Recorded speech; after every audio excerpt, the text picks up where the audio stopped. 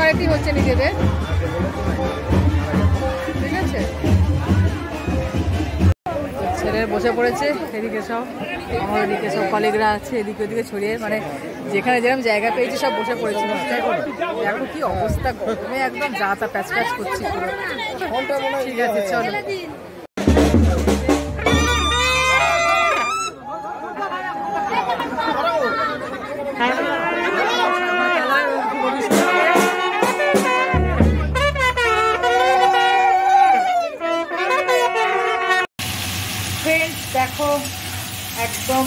ফাটা গরমে এই ঝিঙে, আলু আর তোমার কচি লাউ ডাঁটা দিয়ে পাতলা জিরে বাটার ঝোল। ভীষণ পছন্দের আমার, খুব ভালো লাগে, এটাই করছি। কিচ্ছু ভালো লাগছে না, জানো তো? মাছটা কিচ্ছু ভালো লাগছে না। তো মাছ এনে দিয়ে গেছে বর তো মাছটা ভাবছি ওই প্লেন ওইরকম সেই নুন হলুদ দিয়ে সিদ্ধ খাই, সেই সিদ্ধটাই করব, খুব ভালো লাগে। আর এই যে জিরে বাটা দিয়ে যেটা, দেখো অল্প তেলের মধ্যে জিরেটা দিয়ে ওটা হালকা টেলে নিয়েছি, নিয়ে এটা আমি এইটা দিয়ে চাষ করব ওই লাস্টে মেশাবো, ঠিক আছে? তার আগে আমি একটা আলু আছে, ছোট্ট একটা আলু, আলুটা চন্দ্রমুখী আলু তো, আর দিয়ে দিয়েছি ঝিঙে, এটা দিয়ে এখন একটুখানি কষিয়ে নিয়ে তারপর আমি দেব ওই লাউ ডাঁটার ঝোলটা। তো বিয়ে বাড়ি আসার পর তোমাদের কাছে মানে বিয়ে বাড়ি হয়ে যাওয়ার পর আর কি তোমাদের কাছে আর আসতে পারেনি, জানো তো? আর ভালো লাগছে না, এরকমই পাতলা ঝোল আর তার সঙ্গে এঁচড় আছে, এঁচড়টাও হালকা করেই করব। তো এঁচড়ের পর ইয়ে হয়ে যাচ্ছে, বয়স্ক হয়ে যাচ্ছে মানে কাঁঠালের দিকে যাচ্ছে। সেজন্য এঁচড়টা খেয়ে নিচ্ছে, আর হয়তো এঁচড় আর কচি পাবো তো এই দেখো, এটা করে নিয়েছি। তো কষিয়ে নিয়ে, কোনো রকম কোনো কাশ্মীরি মির্চ, কোনো লাল লঙ্কার ইউজ করিয়ে নিয়ে আমি। এখন এবার নুনটা দেবো। ধরার সময় নুন দিলে পরে না, যদি দিই তাহলে ঝিঙেটা জলটা বেরিয়ে একটা বাজে ব্যাপার হয়ে যেত। তো চলো, দেখতে পাচ্ছ, কোনো রকম কোনো মশলা কিন্তু নেই। এত উপাদেয় গরমের খাবার একটু ঢেকে দিই। ঢেকে দিয়ে তাহলে এটা যখন সিদ্ধ হয়ে যাবে, তখন এই জিরে বাটাটা মিশিয়ে নামিয়ে নেব, ওকে? আর আমি গোটা কাঁচা লঙ্কা দিয়ে দেবো যে যেরকম পারব আমরা খেয়ে নেব টিপে, ওকে? ঠিক আছে, চল। তো এই দেখো, সিদ্ধ হয়ে গেছে। এইবার জিরে ভাজাটা দিয়ে দিলাম আর একটু কমিয়ে দিলাম। ঠিক আছে? এবার এটা মিলিয়ে দেবো। ব্যাস, খেল খতম। খেল খতম, পয়সা হজম। তাই না? তো চলো। তো এই দেখো, মিলিয়ে নিয়ে এবার। একটা অদ্ভুত একটা স্মেল আছে। মানে গন্ধটা এত ভালো, এই জিরে ভাজার। সুন্দর লাগে। মানে তরকারি খাওয়ার এনার্জিটাই বাড়িয়ে দেয়। আর খিদের লেভেলটা আরও এনহ্যান্স হয়, ঠিক আছে? দারুণ গন্ধটা, এই ভাজা জিরে দিয়ে তোমরা অনেক রকম তরকারি করতে পারো। আমি তোমাদের আস্তে আস্তে পরে যখন করব বলব। অনেক ধরনেরই হয়। তো এটা নামিয়ে নিই তবে এঁচড়টা করে নেব, ব্যাস, তারপর মাছ সিদ্ধ বসিয়ে দেবো, হয়ে যাবে। ভাত এদিকে অলরেডি ফুটছে, এবার অফ করে ঢাকা চাপা দিয়ে দেবো। দেখো, এঁচড়ের জন্য তেল আর তেজপাতা জিরে দিয়ে দিয়েছি। একটু জল ছিল গো। তো তেলের মতো অল্প একটু আমি ঘি মিশিয়েছি, সেন্ট হয় ভালো। এরপর আমি দিয়ে দেব তোমার পেঁয়াজটা। এই যে এটা দিয়ে দেবো। দিয়ে দেখো, সিদ্ধ করা আছে আলু আর এঁচড়। এই দেখো, এঁচড়ের ফাইনাল লুক একদম হালকা পাতলা করে করেছি।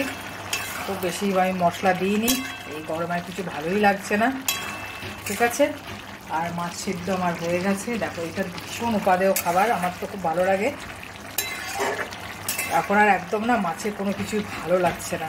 বুঝলে? তো চলো, আমার অলরেডি সমস্ত হয়ে গেছে। এবার আমরা লাঞ্চ করে নেব। তোমরা ওটা করে নাও। পরে আবার দেখা হচ্ছে। বলো তো বন্ধুরা, এটা ঢাকা দেওয়া কি আছে? টান এই দেখো ছ পিস তোমার মুরগির পিস ছ পিস মুরগির পিস। কেমন একটা মিলে গেল টাইপের না? তো চিকেন চারটে লেগ পিস আছে, আর দু পিস তোমার একটু বড় সাইজের পিস আছে। ছ পিস নিয়ে আমি ম্যারিনেট করে রেখেছি। এটা হবে আজকে বিরিয়ানি। আমার ছেলের আবদারে আজকে আমি ওকে ঘরে বিরিয়ানি তৈরি করে দেবো। ঠিক আছে? আর এই দেখো আলু সিদ্ধ করে নিয়েছি, নুন দিয়ে। এবার কড়াইয়ের মধ্যে, এবার আমি কি করব? আলুটাকে ভেজে নেব। আর বেরেস্তা তো করা আছে, এই যে। আর এবং এটা আমি ছ ঘণ্টা রেফ্রিজারেটারে রেখেছিলাম ম্যারিনেট করে। ম্যারিনেটের মধ্যে কি আছে একটু বলে দেবো কি? চলো বলিয়ে দিই। তো টক দই আছে, তোমার পোড়ার মতো নুন আছে, আর আছে তোমার বিরিয়ানি মশলা, ঘরের তৈরি গরম মশলা, আর পেঁয়াজ বেরেস্তা, বেরেস্তার তেল, আর অল্প একটু কাশ্মীরি মির্চ দিয়ে ভালো করে আদা রসুন পেস্ট তো আছে, ভালো করে তোমার একদম মেখেছি। মেখে তোমার ঢাকা দিয়ে ফ্রিজে রেখে দিয়েছিলাম। যত ম্যারিনেট হবে তত ভালো, ওকে? তো চলো এবার, এটা রেডি করে নিই, কেমন? পেঁয়াজ বেরেস্তার তেলটা আমি দিয়ে দিলাম। এটাতেই আমি আলুটা ভেজে তুলব। দেখো আলুটা লাল করে ভাজছি। আর এই বিরিয়ানিতে না আমি তোমার আলু সেদ্ধ দিচ্ছি, কিন্তু ডিম দেবো না, বুঝেছ? কারণ ডিমটা আমরা ওটা পছন্দ করি না। অত খেতে পারি না আমরা, জানো সোজা কথা। এর সঙ্গে মাংস, আলু, দিয়ে সব কিছু মিশে ভলিউমটা বেড়ে যাবে। তারপর আবার গোটা গোটা ডিম, বাপরে বাপ, পারবোই না খেতে। ওই যারা খায়, তারা খায়, আমরা পারি না, আমরা দিই না ওই জন্য। ছেলেকে জিজ্ঞেস করলাম বলো না, আমার আলু দিতে হবে না। ঠিক আছে। দেখো অলমোস্ট ভাজা হয়ে গেছে, এবার তুলে নেব, এবার এই তেলেই তোমার চিকেনটা কষিয়ে নেব। এই দেখো অ্যাড করে দিয়েছি। ঠিক আছে? ফ্রেন্ডস পিসগুলো দেখো। এগুলো সব আমার ছেলে এনেছে, জানো তো? নিজে একদম কাটিয়ে সুন্দর করে নিয়ে এসছে, দেখো।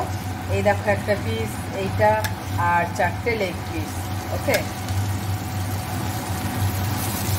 তো যেহেতু এটা দই দিয়ে ম্যারিনেট করা আছে, সেই জন্য আমি দইটা দিয়ে লো ফ্লেমে রেখেছি, কারণ দইটা ফেটে যাবে। একটু হয়ে যাওয়ার পর তারপর একটু লো টু মিড ফ্লেমেতে আমি কষাবো ওকে তারপর ঢাকা খুললাম, কতটা জল বেরিয়েছে দেখো, দেখেছ?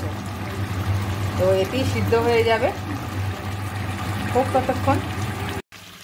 তো দেখো চিকেন ডান ঠিক আছে? এবার ভাতটা আমি করে নিই। এটা থাকুক, ভাতটা হয়ে গেলে তারপর মিশিয়ে নেব। ঠিক আছে? আলুগুলোর সঙ্গে আমি দিয়ে দিই। আমি দিই এর সাথে আলুগুলো, জানো তো?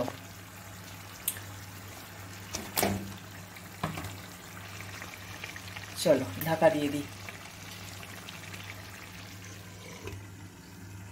দেখো, ভাতটা চাপিয়ে দিয়েছি। এইবার একটু বেশি করে নুন দিয়ে দেবো। মানে এমন নুনটা দেব যেন তোমার যখন এই বিরিয়ানিটা আমি চাপাবো, তখন অ্যাডজাস্ট হয়ে যায়। বুঝতে পেরেছ? এর বেশি করে একটু নুন দিলে ভাতটা বেশ ভালো হয়। সব কিছু অ্যাডজাস্ট হয়ে যায়। বেশ খেতেও সুস্বাদু হয়। ফ্রাইড রাইস ক্ষেত্রেও তোমরা তাই করবে। আর এবার আমি এর মধ্যে কি কি দিচ্ছি দেখো। তো এই দেখো স্টার আনিস স্টার আনিস একটু ভেঙে গেছে। মানে স্টার ফুল যেটা স্টার আনিস আর লবঙ্গ, এলাচ, জায়ফল আর তোমার দারচিনি। সব আমি একসাথে দিয়ে দিলাম। ওকে এবার দেখো দুদিনে নিয়েছি, আর এবার স্যাফরন দেব।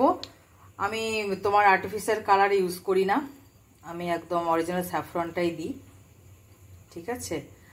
আর বাসন্তী পোড়ার ক্ষেত্রেও দেখেছ, আমি ঘরে যখন করি, তখন হলুদ দিই। এই যে, কয়েকটা স্ট্যান্ড দিয়ে দিলাম।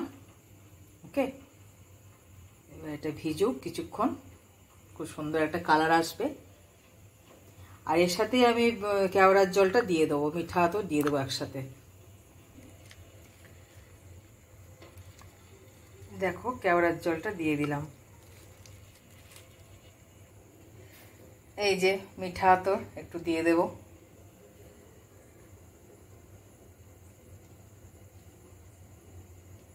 কয়েকটা দিয়ে দিলাম। দেখো, ভাত হয়ে গেছে, মেপে জল দিয়েছিলাম। এই বেডটা তৈরি করে নিয়েছি, তেজপাতা দিয়ে, এরপর ভাত, মাংস ভাত, মাংস দিয়ে সেভাবে করে দেখাচ্ছি তোমাদেরকে। দেখো কীভাবে করছি আমি। দেখো একটা মোটা তাওয়ার উপর বসিয়েছি, এই যে এক পোড়ো দিয়েছি ভাত, এরপর মাংস দিই। দেখো দিলাম, এবার কিছু বেরেস্তা ছড়িয়ে দিলাম। কিছু বিরিয়ানি মশলা অল্প করে। আমি খুব বেশি এটা রিচ করছি না। দেখো বাকি মাংসগুলো দিয়ে ভাত চাপা দিয়ে দিয়েছি। এবার আরেকটু বেরেস্তা লাস্ট ছড়িয়ে দেব, তাহলে হয়ে যাবে, আর তারপর ওই স্যাফরনটা দিয়ে দেব। তো এই দেখো, সব দিয়ে দিয়েছি, এবার একটু ঘি দিয়ে দিই, ব্যাস। তাহলেই হয়ে গেল আমার। দিয়ে এবার ঢাকা দিয়ে দিলাম। ঢাকা দিয়ে এই মুখটা আমি বন্ধ করে দেবো। আটকে দিয়েছি মুখটা। দমে বসছে। কিছুক্ষণ হোক, তারপর খুলে দেখাবো ফাইনাল এই দেখো বন্ধুরা, কি বানিয়েছি, দেখতে পাচ্ছ? হ্যাঁ বিরিয়ানি। এই দেখো, দেখতে পাচ্ছ?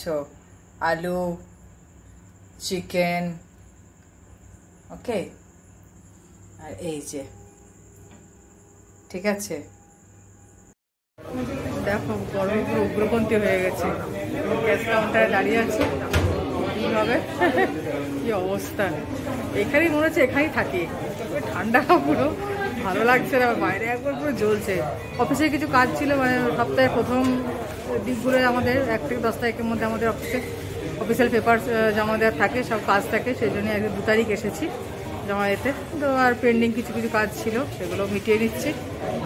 আর ছেলের রেশন কমে এসেছে মানে খাওয়া আর কি, ও বিস্কিট বিস্কিট পছন্দ করতো, সেগুলো নিলাম সরষে সেগুলো দেখে নেবে, ঠিক আছে? আর এই যে, ও দুটো গেঞ্জি নিল গরমে পড়ার। তো চলো, দেখিয়ে দিলাম। একটু বসি, দেরি আছে একটু বসি। চলো, আমাদের কমপ্লিট বাজার, এবার আমরা বিল মিটিয়ে মানে বিলটা চেক করে নিয়ে, এবার আমরা বেরিয়ে যাচ্ছি। চলো। বাইরে যা অবস্থা। বাইরেটা একবার দেখবে, দাঁড়াও। দেখাচ্ছি বাইরেটা।